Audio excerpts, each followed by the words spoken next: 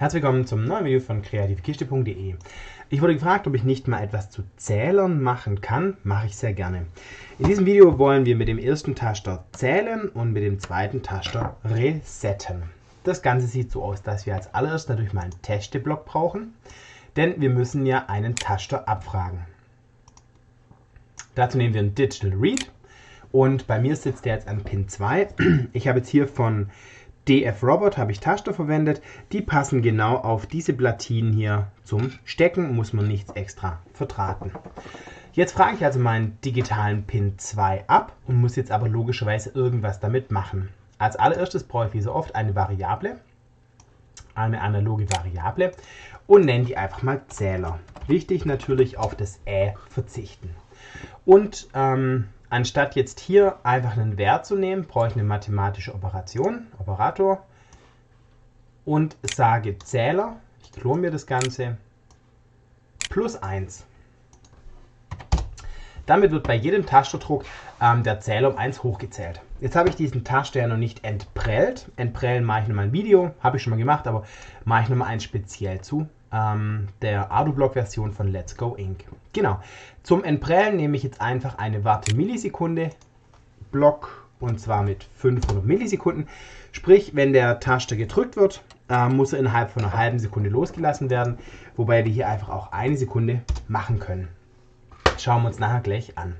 Damit zähle ich jetzt bei jedem Tastendruck den Zähler plus 1 hoch.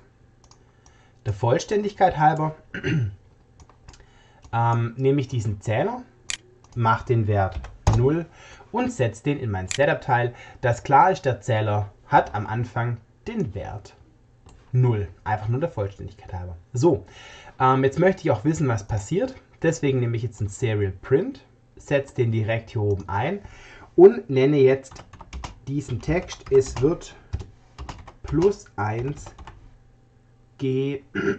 ähm, so, laden wir das Ganze einfach mal kurz hoch auf den Arduino und öffnen dann, wenn es hochgeladen ist, unseren Serial Monitor. Dann ähm, drücke ich jetzt mal den Taster, den hier. Genau, es wird plus 1 gezählt. Also sprich, den Taster wird, der Taster abgefragt. Jetzt sieht man auch, wenn ich den Taster äh, gedrückt halte, dann wird jede Sekunde 1 gezählt. Drücke ich zweimal kurz nacheinander oder dreimal, passiert nichts. Zum Entprellen sage ich noch was. Wenn ihr jetzt eine Lichtschranke oder sowas habt, könnt ihr natürlich auch ein bisschen weniger nehmen. Also, jetzt zählen wir schon mal plus 1. Jetzt möchte ich natürlich auch das, ähm, das Ergebnis von meiner Zählung sehen. Deswegen kopiere ich mir diesen Serial Print Block einfach hier runter und nenne das Ganze aktuell. Aktuell. Mache noch ein paar Striche hin, aber finde ich, weil man es dann besser sieht. Dann gehen wir zur Kommunikation und brauchen hier unten ein Verbinde, setzen den Textblock in den, äh, ins linke Feld rein, klonen uns den Zähler und laden das Ganze hoch. Damit diese Blöcke hier finde, die ich gerade habe, müsste natürlich die Grundlagenblöcke hier oben aktivieren. Öffnen wir den Serial Monitor. Jetzt sehen wir im aktuellen 0 und bei jedem Tasterdruck hier oben, ähm, äh, hier unten, wird dann plus 1 gezählt. Es wird angezeigt, Jetzt sieht man auch die Pausezeit von einer Sekunde und wird dann eben hochgezählt. Jetzt wollen wir das Ganze ja noch resetten. Dazu klonen wir uns den ganzen Block hier einfach, schmeißen das Serial Print gleich mal raus, weil das brauchen wir nicht. Ich habe jetzt meine Reset-Taste an Pin 4 angeschlossen und anstatt hochzuzählen, setzen wir den Wert einfach auf 0. Den Block hier löschen wir und als Text wird nicht plus 1 gezählt, sondern es wird auf 0 gesetzt. So, damit haben wir auf 0 gesetzt. Ähm, hier machen wir eben die 500, denn wenn er hier doppelt gezählt wird, wäre nicht schlimm. Laden wir das Ganze mal hoch, öffnen dann den Serial Monitor wieder. Ähm, dann sehen wir aktuell 0. Wenn ich jetzt zähle, bin ich jetzt eben hier bei 4. Reset, es wird auf 0 gesetzt, es wird auf 0 gesetzt. Was jetzt nicht so schön ist, wenn ich jetzt drücke, kommt der Text, es wird auf 0 gesetzt und es wird gewartet. Ähm, alternativ hier könnte ich noch, um es richtig schön zu machen, bei den logischen Operatoren ein und verwenden und sage, wenn der Taster, also wenn Digital Read 4 ähm, gedrückt wird, Ähm, und die Variable Zähler 0 eben nicht, brauchen wir mal einen logischen Operanten, Operator, vergleichen und klonen uns den Zähler und klonen uns die 0 rein. Ähm, laden das Ganze schon mal hoch. Wenn jetzt also die Variable quasi auf 0 ist, ähm, dann sollte der Taster gar nicht abgefragt werden. Wir sehen jetzt hier also aktuell sind wir wieder bei 0. Jetzt kann ich also hier wieder plus 1 drücken. Dann wird auf diesen Taster zurückgesetzt, aber wenn ich den Reset-Taster jetzt drücke, passiert eben gar nichts. Erst wenn überhaupt eine Zahl angekommen ist, erst dann ähm, wird auf 0 zurückgesetzt. So, jetzt wollen wir es mit den Zahlen aber auch noch eine Kleinigkeit machen. Ich mache es mal ein bisschen kleiner.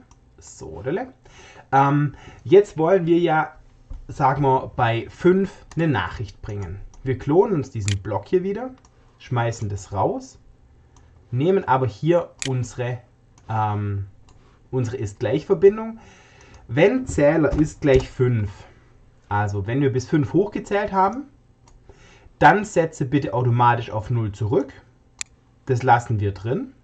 Wir klonen uns einfach kurz ähm, den, das Textfeld und schreiben hier, äh, es sind 5 Punkte erreicht. Und laden das Ganze einfach mal auf den Arduino hoch und öffnen wir nach dem Hochladen wieder unseren Serial Monitor. So, was passiert jetzt? Ich drücke jetzt hier meinen Taster 1, 2, 3, 4 und 5.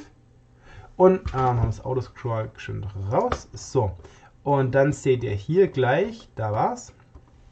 Es wird plus 1 gezählt. Ähm, es wird auf 0 Punkte gesetzt, wird zurück und es sind 5 Punkte erreicht. So, damit könnte man jetzt also eine Spielstandsanzeige oder irgendwas anderes bauen. Ich muss also, um den Zähler auszulesen, einfach einen Testblock nehmen. Können ihr natürlich auch sagen, ähm, wenn es größer als 5 ist oder irgendwie was anderes, auswählen. Genau, ähm, zum Entprellen mache ich nochmal einen Text. Sorry, dass ich ein bisschen erkältet bin. Aber das ist ein ganz einfacher Zähler mit ArduBlock in der Let's Go Inc. Version. Allerdings ähm, gilt das hier für jede ArduBlock Version. Vielen Dank fürs Zuschauen und ähm, viel Spaß beim Nachbauen.